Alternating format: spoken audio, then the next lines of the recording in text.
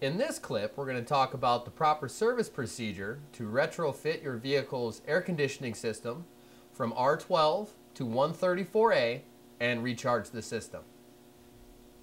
In this step, we're going to talk about the actual charging procedure for your vehicle.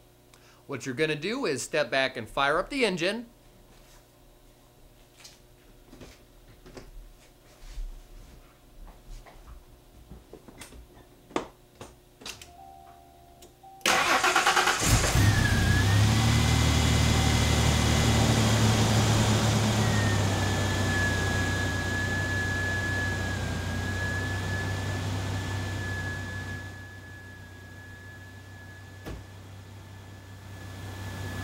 Once you have the engine started, you are going to turn the air conditioner on to its maximum cooling setting and set your blower motor on high.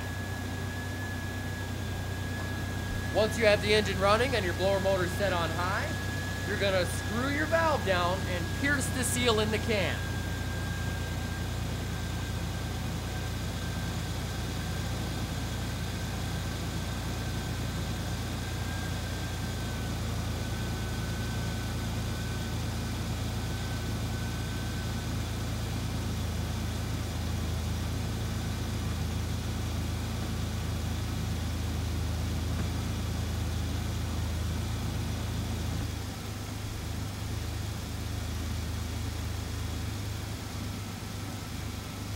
Once you run the piercing valve all the way down, you're going to take and unscrew the piercing rod to open up that port. As you can see, I'm reading pressure on the gauge now.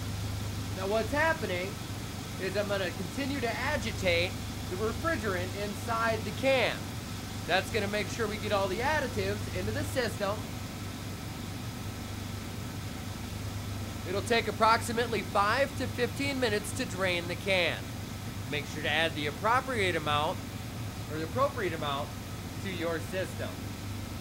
That is the proper way to pierce your can and begin the recharging process.